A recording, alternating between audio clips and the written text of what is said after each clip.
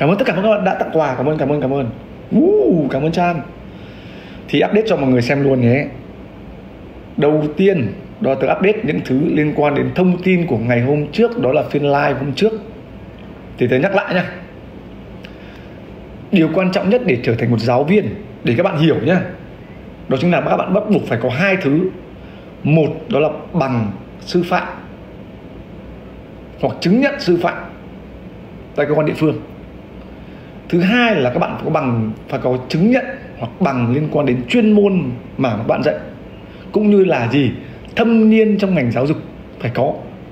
Nó khác với việc gì mọi người biết không? Khác với việc các bạn được mời đến lớp để nói một buổi hoặc hai buổi. Đấy, nó chỉ là khách mời thôi. Cho nên để nhắc đến giáo dục là rất nguy hiểm, là thứ nhất.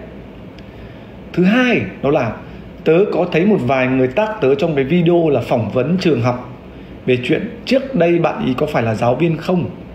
Và tớ thực sự buồn, bởi vì các bạn không tìm hiểu kỹ.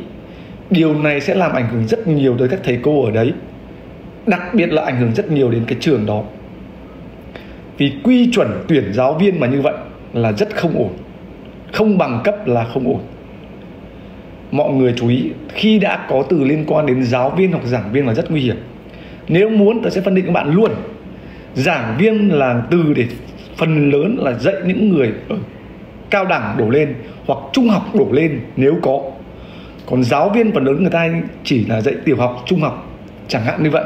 Thì đấy là từ chuyên môn trong ngành thôi, nhưng quay trở lại, để trở thành một giáo viên, các bạn nhớ, bắt buộc phải vào ngành có vào bằng sư phạm, cộng với gì? Chứng chỉ hoặc thâm niên về giảng môn đó. Cho nên, nếu như các bạn để up cái video đấy là rất làm hại bạn kia, cực kỳ làm hại bạn kia. Cho nên chú ý đừng phổ cập cái chuyện đấy rất nguy hiểm cho trường và giáo viên và rất tốt cái thầy cô ở đấy.